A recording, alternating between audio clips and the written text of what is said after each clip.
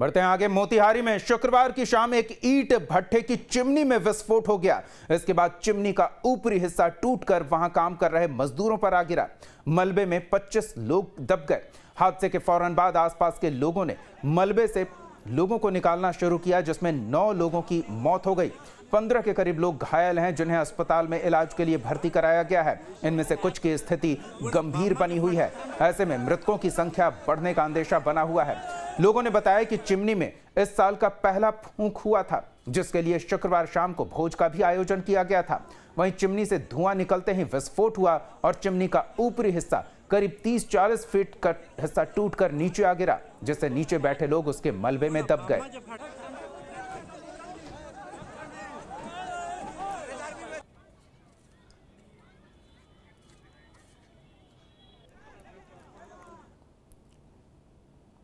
वहीं मोतिहारी में इस हादसे को लेकर भी मुख्यमंत्री नीतीश कुमार ने दुख व्यक्त किया है। ट्वीट कर उन्होंने लिखा पूर्वी चंपारण ज़िले के रामगढ़वा थाना क्षेत्र में ईट भट्टे की चिमनी फटने की घटना दुखद है।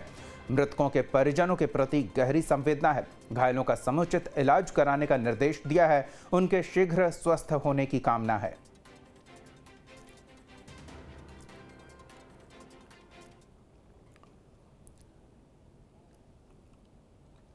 तो इस घटना में नौ लोगों की मौत हुई है। कई लोग अभी भी घायल हैं, जिनमें से कुछ की स्थिति गंभीर है। पूरी घटना के बारे में जानकारी लेते हैं। सहयोगी रंजीत हमारे साथ जुड़े हुए रंजीत, ये चिमनी में विस्फोट, नौ लोगों की मौत का कारण बना है। कई लोग गंभीर रूप से घायल हैं। पूरी जानकारी चाहेंगे इस घटना के बारे में।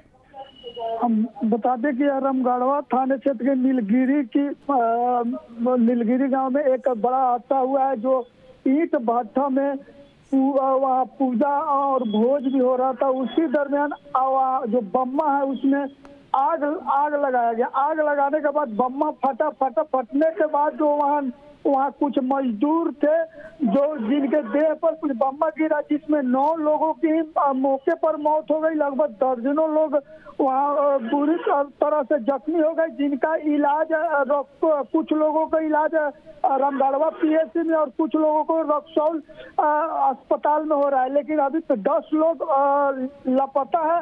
जिन, जिनको वहाँ खोज निकालने के लिए एस टी आर की टीम को भी बुलाई गई, लेकिन रात में एस आर टीम आई तो उन्होंने बताया कि सुबह में इसका रेस्क्यू किया जाएगा और जो लोग उसमें फंसे हुए हैं, उन लोगों को निकाला जाएगा। जी।